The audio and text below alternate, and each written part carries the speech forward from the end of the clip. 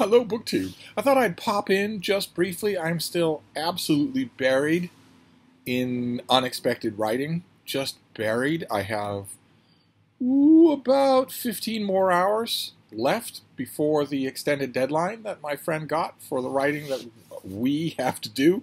And I'm going to need all of that time, but I think that will be enough time for the vast amount of writing that I have to do.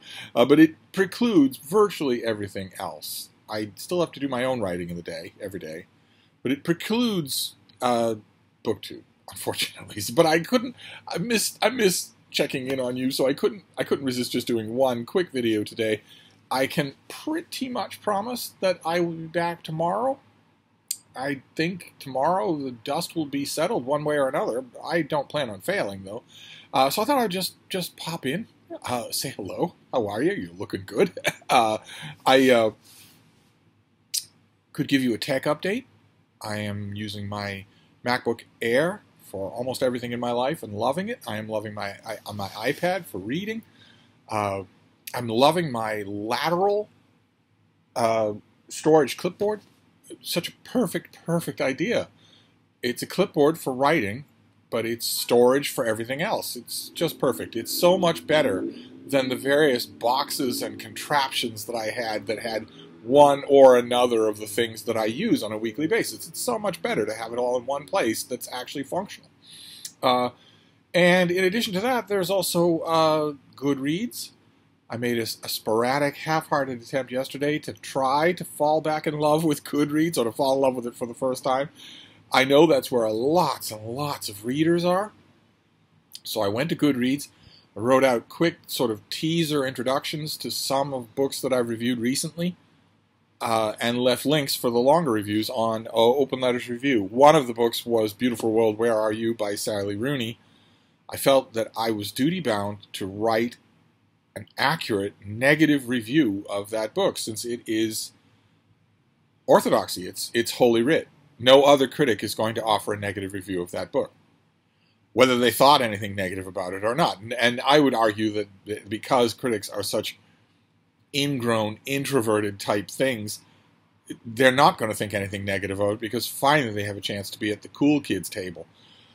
Uh, the book is crap, absolutely undiluted crap, and I thought at least one review at length, in detail, by one critic should say that. So that was one of the ones that I linked to on on Goodreads, and I mean to do more of that today.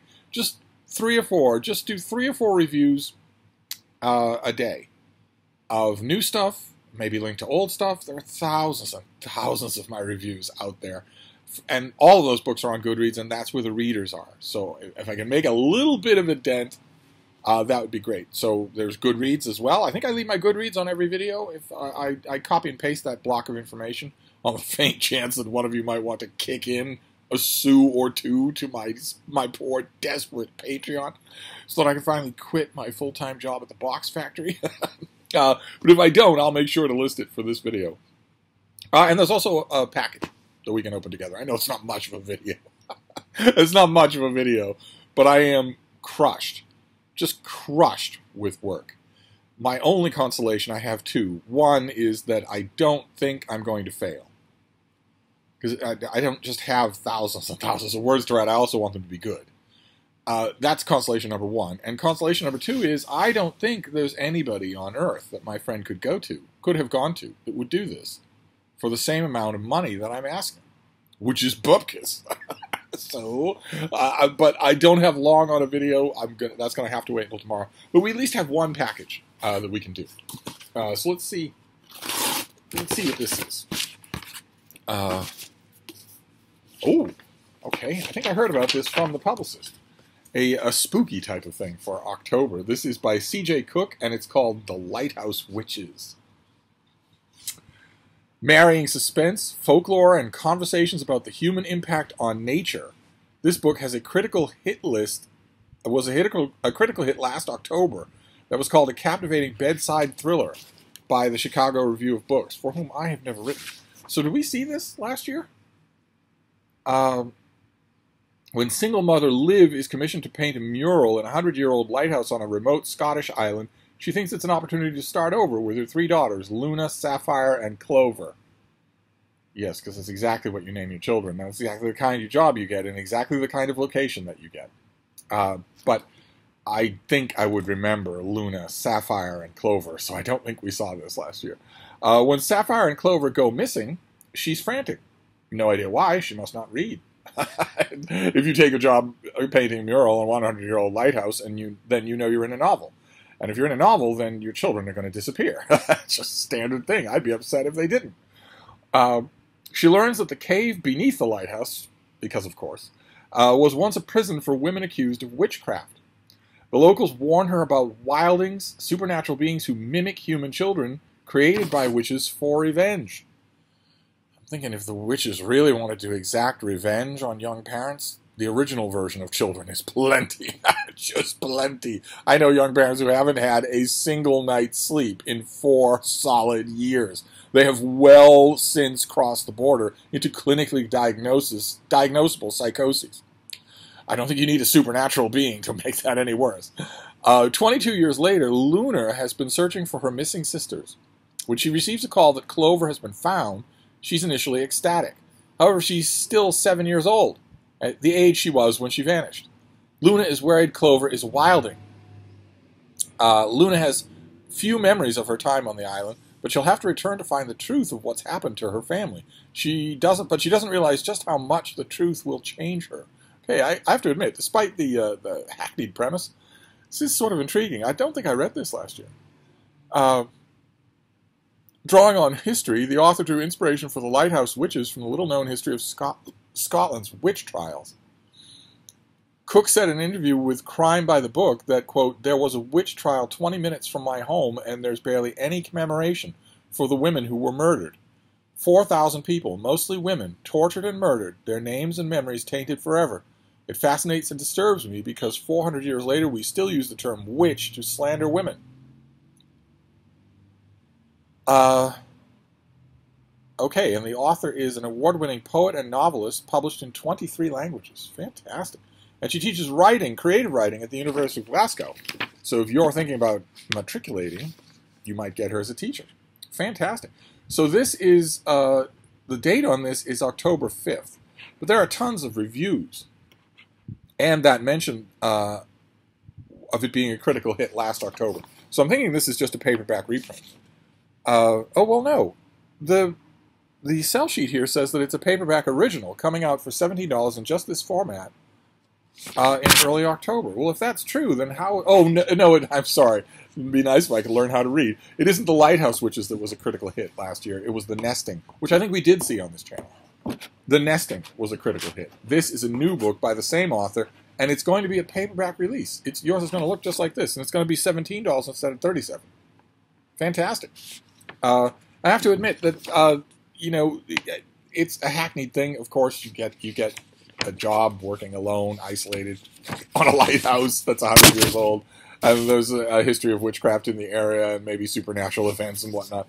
All of those elements are extremely familiar, but it's all going to be about how the author does it. I'm trying to remember off the top of my head now what I thought of the nesting, if I got it. Uh, and I'm drawing a blank because all I'm thinking about is the writing that I have to do. Uh, but I will, I will clear it up. Uh, so there you go. It sounds like a, a really, uh, I mean, we can't hold against it the fact that some of its its elements are familiar. Maybe the rest of the world could, but this corner booktube can't. Right? We read all the time. You're going to counter familiar elements all the time in things. Can't hold that against a thing. It'll be whether or not this author sits on those elements or makes something new and interesting out of them. That will be the whole thing.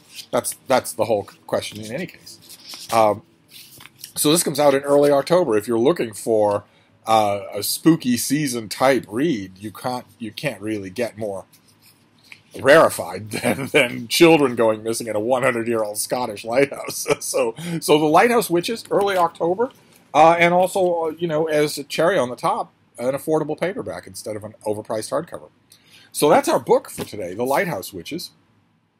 Uh, and that's about it. The bean is still adorable. I am fine. The weather is fine. I think we're probably going to get a little rain tonight. Feels like the humidity is cresting, probably to be wiped out by a little bit of rain.